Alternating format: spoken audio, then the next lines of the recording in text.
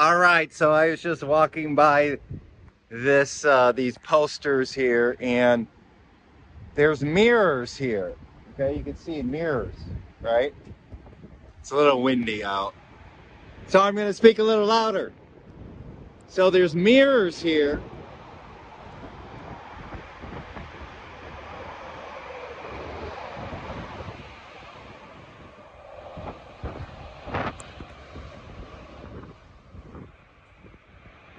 There's mirrors here, and and the way that they position, there's another one right there. the, the way they positioned it is, you know, to see your face. Okay, so I'm about six six foot high, so you could see your face, but um, you know, they didn't put it way down here or way up there. They did it so that, that you could look and see your face. And I just thought this is a this is a very powerful spiritual practice is looking in the mirror and what do you see? What do you see? Do you naturally see the divine? Do you naturally see a beautiful manifestation of source energy? Okay? Do you naturally see your beautiful self? Do you naturally, your beautiful divine self, do you naturally see unconditional love? Right? Or do you see a wounded soul? Do you see, trying to look at the camera, do you see past trauma? Do you see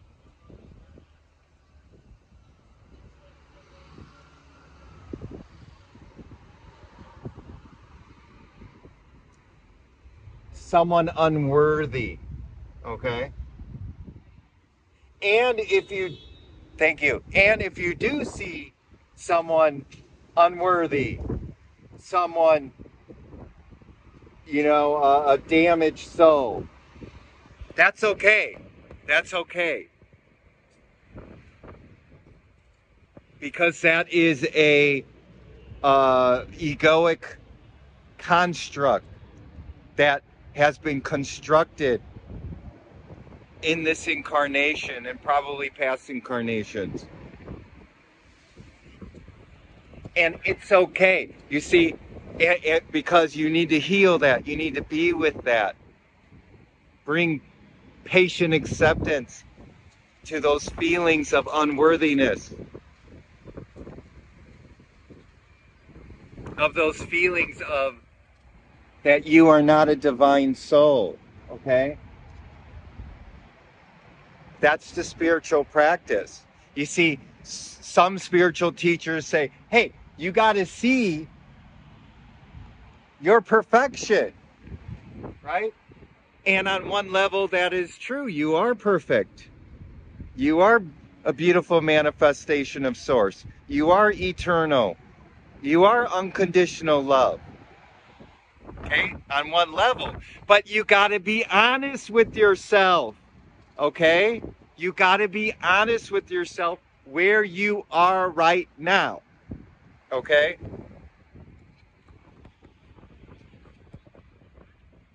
Where you are right now. Okay? And if you have done a lot of work, you've done a lot of healing the pain bodies, dissolving shadows, then fine. You, you can look in the mirror and you can see the divine. Okay? You could see a worthy representation, of a beautiful manifestation of source of God of your Buddha nature. Fine. Okay? But there's not a lot of people on this planet right now who naturally ha- have that. Okay? So you got to be honest with yourself.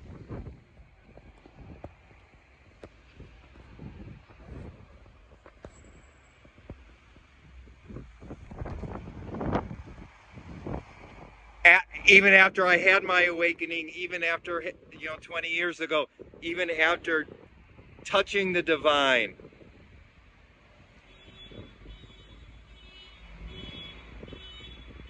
Thank you. Even after experiencing emptiness and unconditional love and the peace that passeth understanding.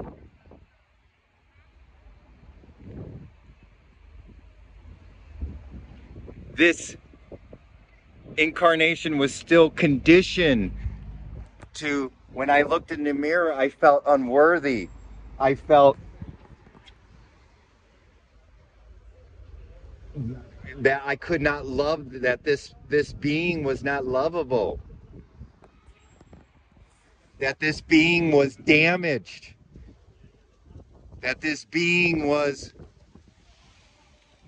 I had a lot of shame. I there was a lot of shamefulness in this being. Okay? And sure, there were times when I read certain spiritual teachers and whatnot, where hey, you gotta you gotta be happy and see the divine in you. But I didn't. And so there was a time where maybe I kind of faked it. I kind of, oh, okay, I see. But it was superficial. I was lying to myself, to, to what was actually happening. Okay?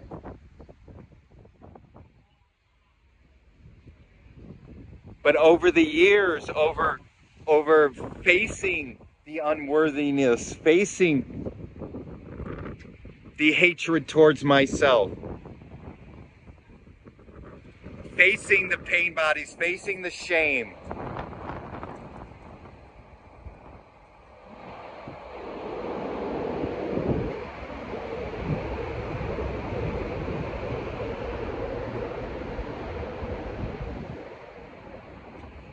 And yes, to those people who are going to make comments, yes, I do see the, you know, the Playboy seltzer water ad or uh, uh, uh, vodka seltzer ads, okay? And sure, they're kind of funny, okay?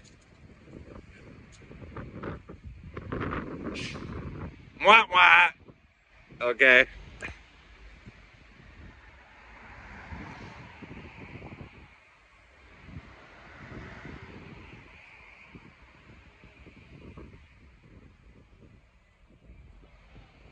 I had to face my delusions about myself.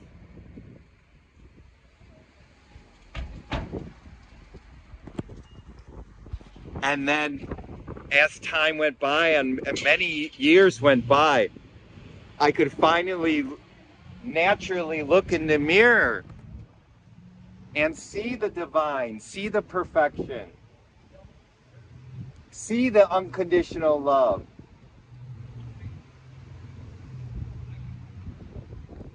See the beautiful manifestation of Source.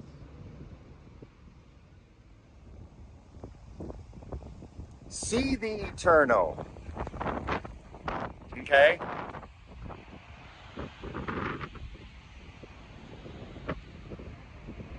Be honest where you are at on this spiritual path.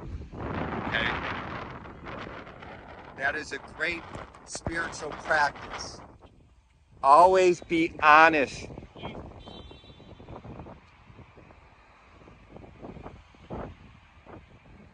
And if you have tried to condition, you know, try, eh, got into a bad habit of being dishonest and repressing things,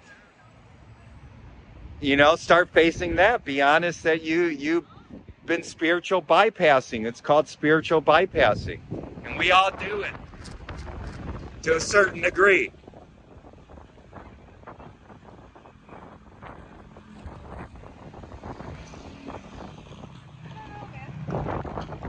it's funny because I'm walking out today. I'm at, it's very windy today, and I'm like, this is not a good day to make any posts today. So I'm like, I kind of resigned myself. I'm like, ah, I'm not going to make any posts today because it's too windy out, and the audio is going to be all messed up. And then I saw this, because who knows? Because these things change. These things change. These could be ripped off tonight. You know, I've I've done post uh, posters where the next day they were gone. So I so this is all uh, this is all in the moment.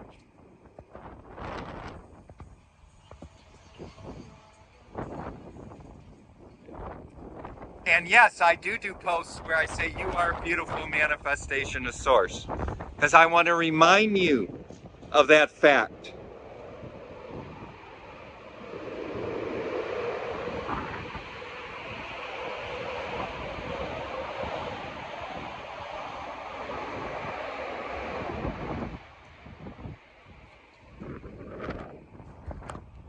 But even though I remind you if you don't feel those words, if you don't feel the truth of those words, that's okay. That's a delusion. Bring presence to that. Have patient acceptance with that, that delusion so that it dissolves. And you and you could cultivate worthiness as the true worthiness, natural worthiness starts shining through as you develop presence, as you awaken to your eternal truth. Right? And and I also love the the mirror as a beautiful metaphor for truth, for emptiness. Right? This mirror doesn't judge you. This mirror is just ref- is just reflecting what is in front of right?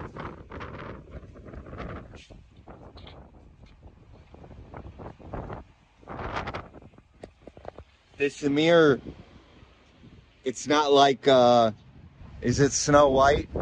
Where the, you know, mirror, mirror on the wall, the mirror talks back to uh, the evil queen or whoever. No, the mirror just is just a reflection, right?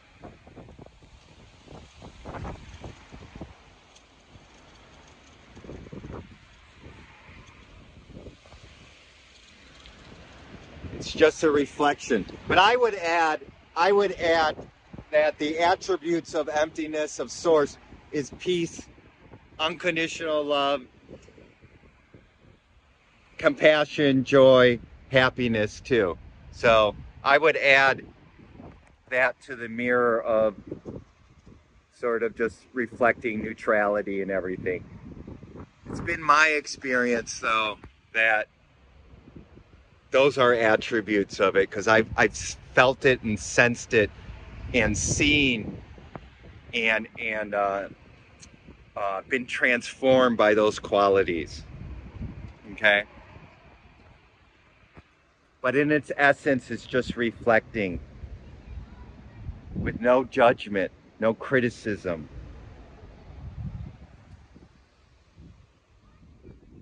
All right. All right. So I just love it. So thank you for the mirrors and uh,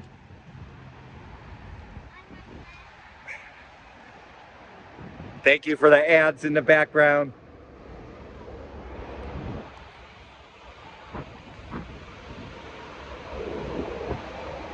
Life is funny.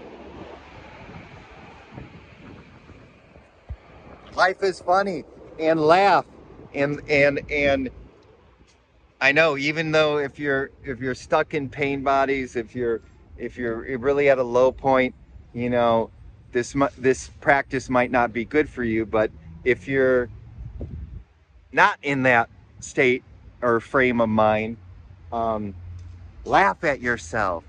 Laugh at yourself. Learn to laugh at this incarnation. Don't take it so seriously, you know? don't take it so seriously. Right? That that diminishes the ego, that diminishes the, you know, ah, ah, ah, okay. All right. So, love you. Love you. Love you. Love you. Love you all the way around me. And thank you, mirrors, for showing up.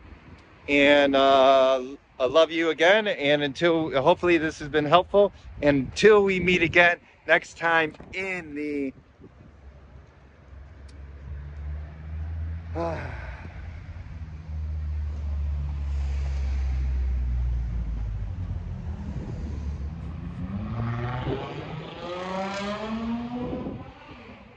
in the you are worthy of awakening to your divine essence, to your divine truth, because you are a beautiful manifestation of Source now moment.